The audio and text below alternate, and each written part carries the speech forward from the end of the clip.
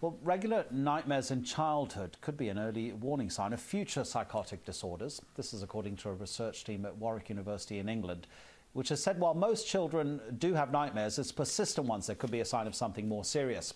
It was Professor Dieter Wolke who led the research team. At 12 years, we interviewed them about nightmares, which are during rapid eye movement sleep, and night terrors, which the children are not so aware about, and looked at psychotic experiences. And just to explain what they are, they're like hallucinations, like having delusions, like being persecuted, or having delusions of grandiosity. And we found that there's a relationship of three and a half times increased risk at the same age.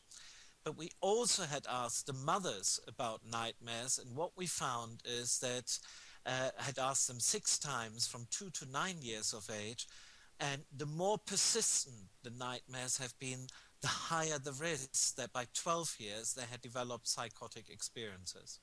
Many children, almost all children, have nightmares, but you just used the key word, I believe, in the entire study is persistent nightmares. So, how do you define persistent? Yeah, I think it's very important not to give parents now nightmares about it because actually 70% of the children between two and nine years of age had at least for one year some regular nightmares. Persistent, we mean that they're regular, at least over a six months period, and that we had measured them more than th- at three different time points between two and nine years of age. So these children had nightmares over years. And if a parent is worried about their child having nightmares, what should they do? Is there any advice that you can give them if they are concerned, having read and studied your findings?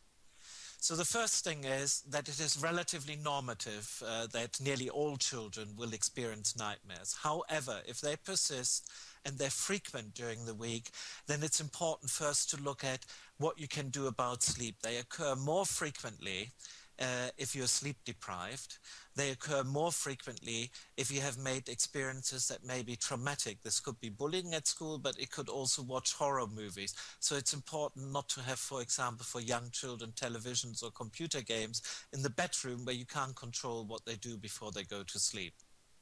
There's more on the story on the BBC News website. Thank you very much for the moment, anyway, for your company. Bye bye.